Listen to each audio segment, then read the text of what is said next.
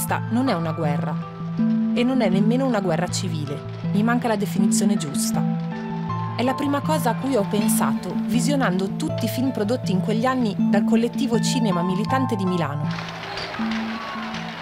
Eravamo una decina di amici, eh, alcuni studenti e altri lavoratori Um, cercavamo di documentare quello che vedevamo nella città, che succedeva attorno a noi e non volevamo in nessun modo manipolare o giudicare quello che era la realtà delle cose che ci capitavano di, di vedere, di filmare, di, di, vivere attorno a noi. Non, non ci fu un fondatore del CCM, ci fu un osmosi. Eravamo tutti militanti e tutti appassionati di cinema.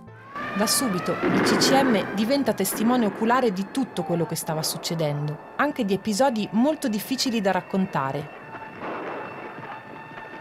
Volevamo dare questa immagine calda, star dentro, a contatto con gli altri, sentirci con gli altri, sfilare con gli altri. Sono immagini molto dure.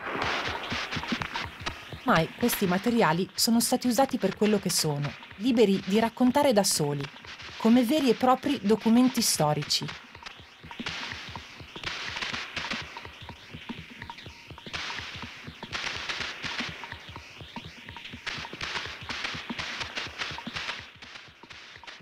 Il lascito di quegli anni è ancora oggetto di grandi discussioni, di grandi controversie, di grandi passioni positive e negative. C'è chi vede quel periodo come un periodo distruttivo.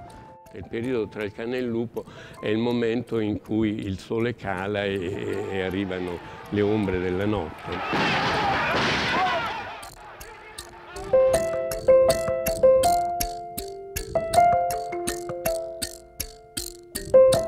Thank